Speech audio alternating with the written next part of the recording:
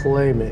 Welcome to Watch Mojo, and today we're counting down our picks for the 10 ways Spiral is different from Saw.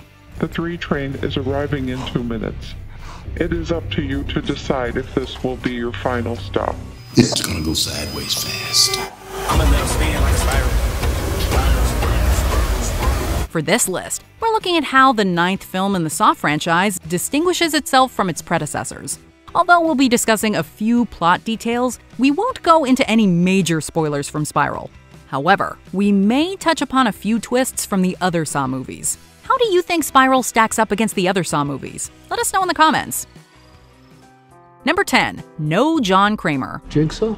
Wait, I thought the Jigsaw Killer was dead. John Kramer, or Jigsaw as he's more infamously known, has been a primary puzzle piece since the first Saw movie. Game over.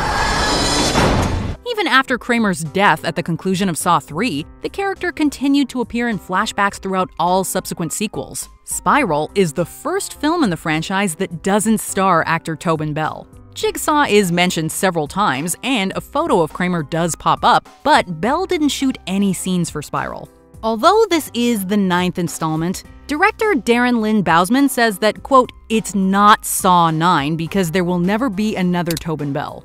Thus, the filmmakers decided to create a new antagonist who takes a few pages from Jigsaw's book, but plays by different rules. Whoever did this has another motive. Something personal. Number 9. Detective Zeke Banks. Detective Banks, get to Yep. The cops in the Saw movies are not exactly known for doing their jobs well. Eric Matthews faked evidence, resulting in innocent people being put behind bars. Mark Hoffman carries on Jigsaw's work, emerging as a secondary antagonist. Even Daniel Rigg, who is one of the more sympathetic law enforcers, makes some boneheaded decisions that amount to his end. The rules were clear. You. Scary! Zeke Banks, played by Chris Rock, is one of the franchise's few central cop characters who's easy to root for from start to finish. He's competent, charismatic, and willing to do the right thing even if it means going against a fellow officer. 12 years ago, I turn in a dirty cop. I get a medal for it. Big fing deal. I also got a bullet, and I got to look over my back for the rest of my career. Rock's performance also helps to bring a fresh energy to Spiral, creating a protagonist who stands out from all others in this series. Number 8. The New Style. You can tell that the other Saw films take place in the same universe based on their cinematography. They all have a dirty aesthetic, with many scenes draped in grainy blue and green tones. Spiral takes on a different style while still creating an intense atmosphere. Shut up!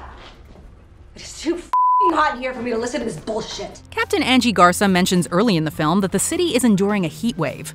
This is emphasized through Jordan Oram's cinematography, which has much brighter, at times scorching hues. We feel the pressure bearing down on these characters, almost as if an interrogation lamp is constantly on them. Jigsaw copycat. That could be difficult. Even the scenes that take place in darkness use much more vibrant colors than we usually see in this franchise, letting the audience know they're in for something different. Number 7. The Book of Seven. All right, I'm confused. It means that this is beginning. When the original Saw premiered, several critics noticed a few loose connections to David Fincher's Seven. While writer Leigh Whannell did credit Fincher as an inspiration, he added, quote, James Wan and I never really felt Seven was that close to our film. With Spiral, however, the filmmakers had Seven in mind from the conceptual stage. Darren Lynn Bousman even stated in an interview, quote, We wanted it to feel much more like Seven, but it has so many ties to the mythos of Saw. Both films center on two detectives tracking down a serial killer, finding severed body parts in boxes along the way. Oh, what's in the box? What Spiral captures above all else is the look of a Fincher film, amounting to arguably the most cinematic Saw picture. Number 6. Balancing the Gore. Gore is a requirement in any Saw film, and Spiral gives longtime fans what they paid for. Tear from your mouth the tongue that has so often been used to lie and to deceive. Take a leap of faith and you will live. Only your weight will rip away your lying tongue and save you. Live or die. Make your choice. If you're not the biggest fan of on screen bloodshed, however, you'll find that Spiral is less gratuitous than some of the franchise's previous outings. With each passing entry, the deaths in this series started to get borderline cartoony. Spiral finds a respectable middle ground between grounded and over the top violence. The gore isn't the main attraction this time either, as Spiral tells a mostly coherent mystery with a compelling protagonist at the forefront. He could be anywhere. He could be anyone. We're gonna tear this city apart. Explaining this new direction, Bousman said in an interview that gore is, quote, no longer a gimmick. It just serves the story. This is much more about character, tension, and fear. Number 5. The Villain's Targets. John Kramer tested a wide variety of people, from doctors to freelance photographers to drug addicts. The Jigsaw copycat in Spiral is only interested in one group cops, specifying the dirty ones. You have taken the witness stand many times and railroaded innocent people with your lies, putting them away in jail. Today, it is you who will be railroaded. Of course, plenty of law enforcers found themselves in Kramer's traps as well. This film's villain, though, has a much narrower focus than Kramer ever did. Whoever did this has another motive. They're targeting cops. The victims here are also generally less sympathetic than the ones in a lot of Saw movies. That's not to say they all deserve what's coming to them, but we don't feel too bad when most of them bite the dust either. Number 4. The Villain's Motivation. After surviving an attempt to take his own life, John Kramer emerges with a new worldview. Those who don't appreciate life do not deserve life. He decides to spend his remaining time on Earth inspiring others to appreciate life by putting people in life threatening situations, most of which end badly.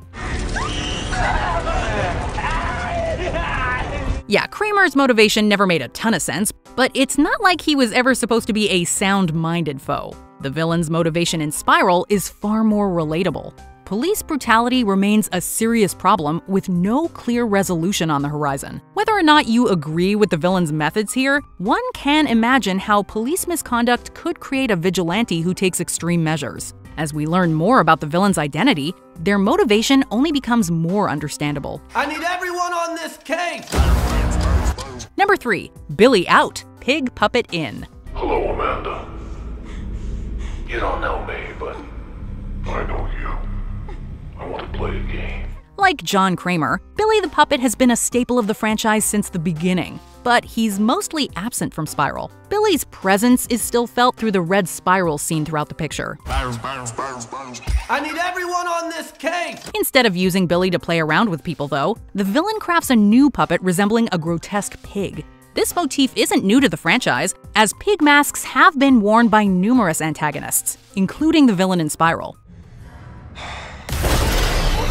The pig puppet is new, however, sporting a police uniform, a firearm, and a hellish set of eyes. As Bousman put it, quote, if you're trading out Jigsaw, you've got to change out the doll as well.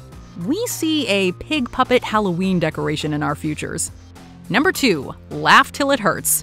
Chris Rock has been branching out as of late with his dramatic turn in Fargo and now Spiral. Given Rock's comedy background, though, it makes sense that Spiral would incorporate more humor. How'd you get in here?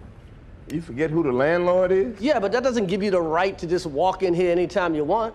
Renters got rights. You start paying some rent, you can get some rights. We can't think of many moments from the last eight movies that were intentionally funny. Rock establishes a more comedic tone early on, with a bit about the questionable way Jenny treats Forrest Gump. Why are you so good to me? You're my girl. In an interview, Rock compared it to Beverly Hills Cop, which started as a Sylvester Stallone action movie, but became an action comedy when Eddie Murphy entered the mix. At the same time, Spiral never forgets that it's part of the Saw legacy, and doesn't go overboard with the comedy. It's not Scary Movie 4. Whoa, whoa. Oh, this is some bullshit. Before we continue, be sure to subscribe to our channel and ring the bell to get notified about our latest videos. You have the option to be notified for occasional videos or all of them. If you're on your phone, make sure you go into your settings and switch on notifications. Number 1. Real World Commentary This franchise is no stranger to dirty cops, but Spiral feels like the first Saw movie to tackle police misconduct headfirst. When was the last time you saw your father? We learn early on that Zeke turned in a crooked cop and is now viewed as a rat in his department. It doesn't help that many of Zeke's co-workers have either been misusing their power or standing by while other officers employ needlessly excessive force. All available units, officer down. That was just a diversion to get us out of the precinct! Watching the film in 2021, it's hard not to think of recent events and the ongoing debate about police reform. Spiral notably finished filming in August 2019. Its commentary was timely then, but it's only grown more relevant. While Spiral may not be the deepest film about police corruption, it is a welcome addition to the conversation. How can I catch this guy? If there's nobody on the force, I can bust! Do you agree with our picks? Check out this other recent clip from WatchMojo, and be sure to subscribe and ring the bell to be notified about our latest videos.